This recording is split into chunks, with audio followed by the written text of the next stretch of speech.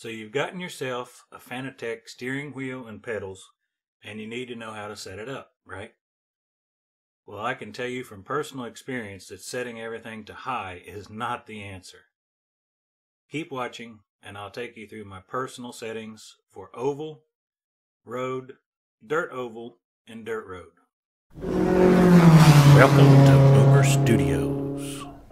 Okay, in this video I'm going to talk about my Fanalab settings for my DD1 wheelbase. I always use the same profile regardless of which wheel I use. The only change is the setup that I use based on the discipline I'm driving. After covering these setups, I'll talk about the real secret to getting the best possible force feedback out of iRacing with a program called IRFFB. Alright, let's start with the settings for the oval cars. I like to go with 900 degrees for the maximum steering angle. That gives me good control without too much twitchiness.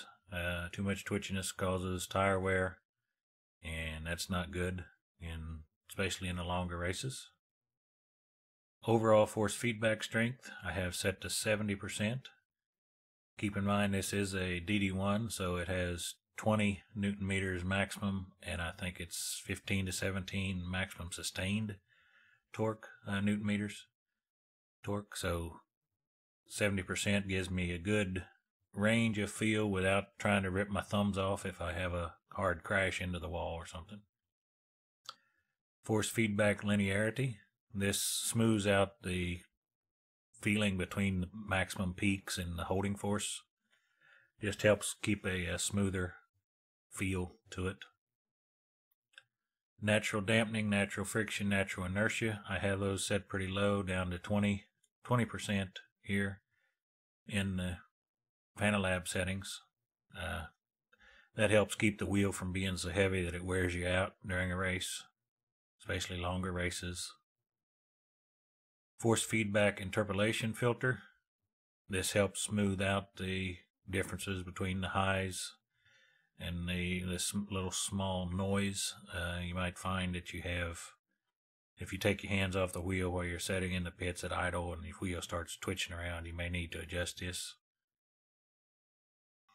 Uh, force effect intensity. I have this set to 80 80% 100% is the most sharp and can be very harsh and result in rattling. Again like I mentioned setting in the pits uh, zero is very smooth, and but you get you lose all your feeling. So I I like eighty percent. That gives me the best feel. Game force effect strength, spring effect strength, and damper effect strength. This is the, the forces that are coming from the game to the to the software, and I have all those set to hundred percent brake level indicator. If you have your Club Sport uh, pedals V3 that are connected directly to the wheelbase like mine are, then you can set this to when you press the pedal a certain percentage, it will begin to vibrate. I don't necessarily like that. So I, I use use another setting here in vibration that we'll talk about in a little bit. The vibration strength for the steering wheel uh, I don't have a vibrating steering wheel. The rumble motor's inside the grips, so I don't mess with that. These I have set to auto and the paddle module when I have it on, on the uh, wheel. It's set to clutch bite point. The brake force, this is one that you can adjust again if you have it set connected to your wheelbase then you can set the amount of force that it takes to get full lockup of the wheels. I'd like 80%. Uh, 100% means you have to press the pedals very hard, and 0% means you just lay your foot on it and you can lock the wheels up pretty easily. I don't like to lock them up, but I don't like to have to mash the pedal so hard that it, you know, I'm afraid it's going to break. Then we can go to my road settings, which is pro my profile number three. You see here, a lot of the stuff is the same. The game effect strength, the stuff coming from the game is all the same. Brake force. What I change for road settings primarily is the steering angle. I bump it down to 720. And the overall force feedback strength, I take it down to 50%. Again, this this allows me enough feeling without being overpowering. And we'll go to the in-game settings, actually the IRFFB settings, and explain it a little bit towards the end. Then I have the dirt oval settings in profile number 4. Maximum steering angle 540 degrees. The overall force feedback strength is at 60%. Everything else is pretty much the same as before for the same reasons. And finally, in profile 1, I have what I use for the uh, off-road dirt, like the trucks and the rally cars, uh, 540 degrees. I have a lower, much lower overall force feedback strength, 45%. That, that still gives me enough feeling but allows me to turn the wheel quick enough to react to whatever the car is doing.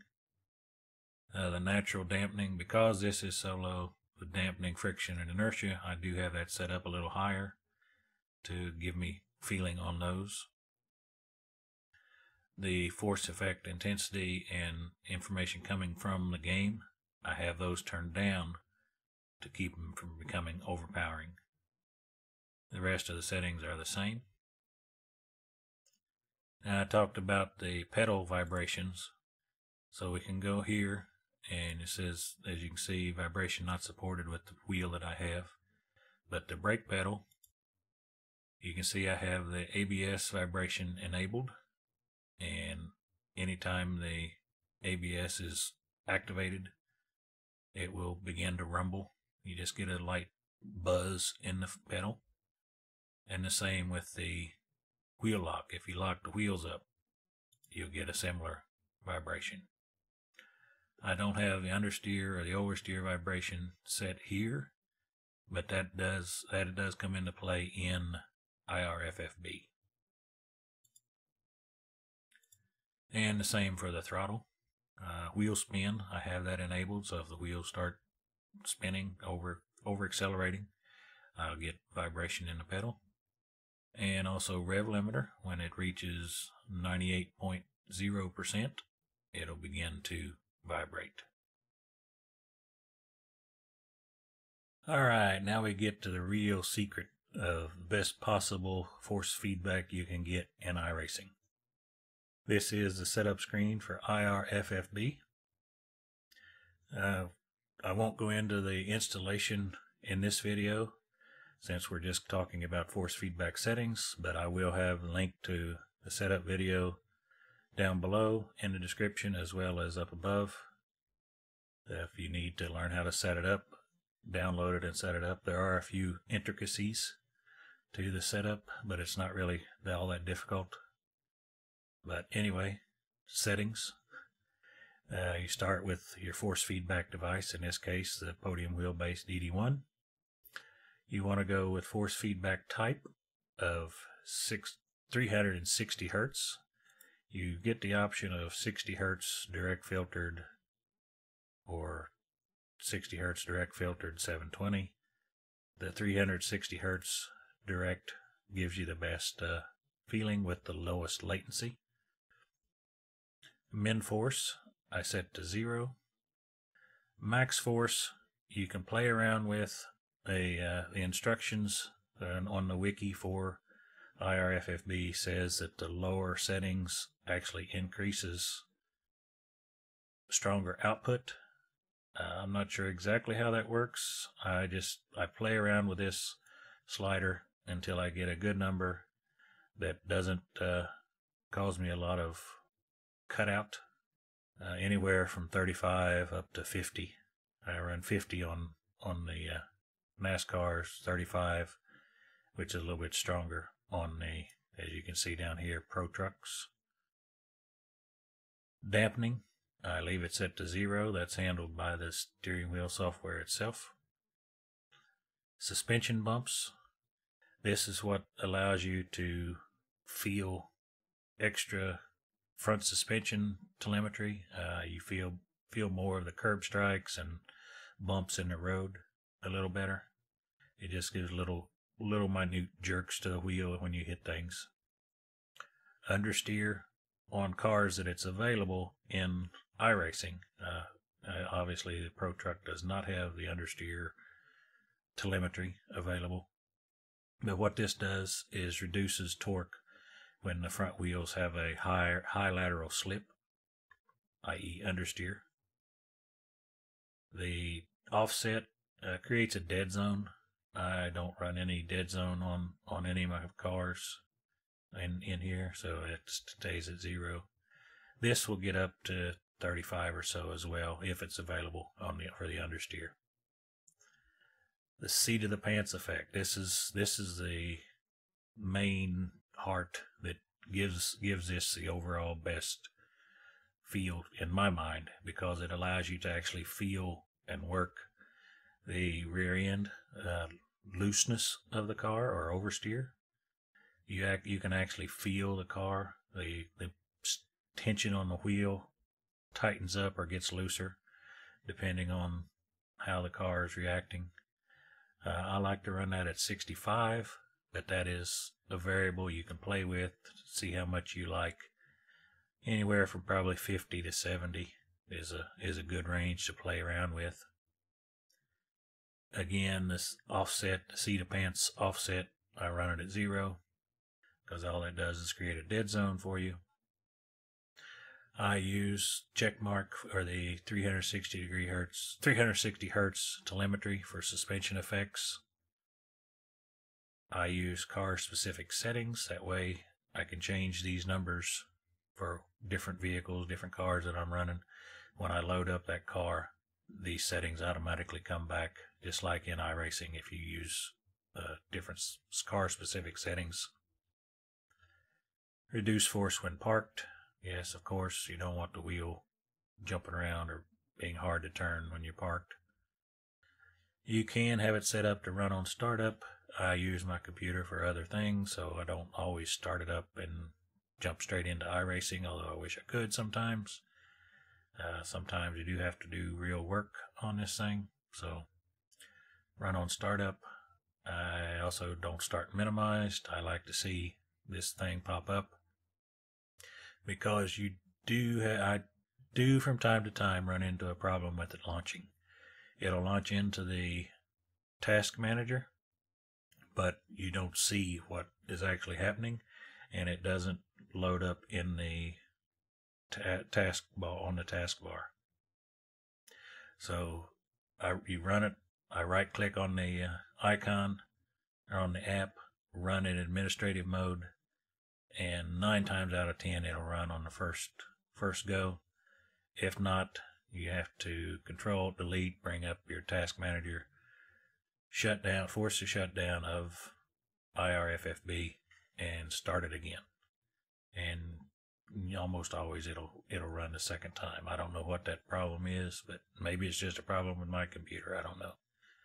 But it's worth the worth the effort for this seat of the pants effect that you get and the understeer on the car that is available.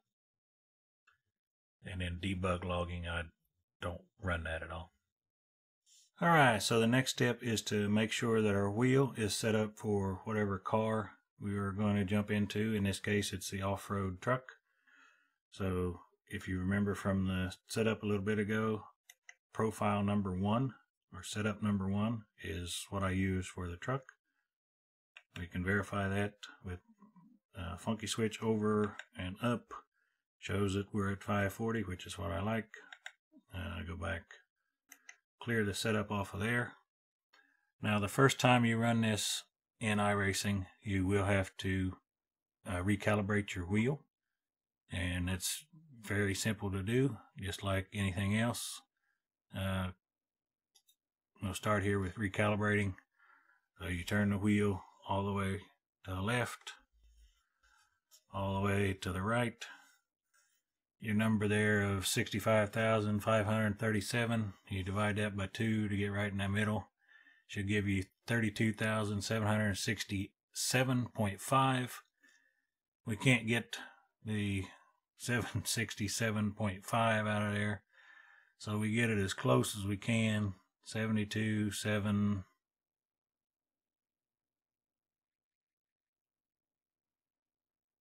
and it bounces around. You can see just barely moving the wheel, and it bounces around quite a bit. So there we go, 72768. It's showing at 50%. So we're done with that part. Now we turn to 90 degrees. Turn the wheel 90 degrees.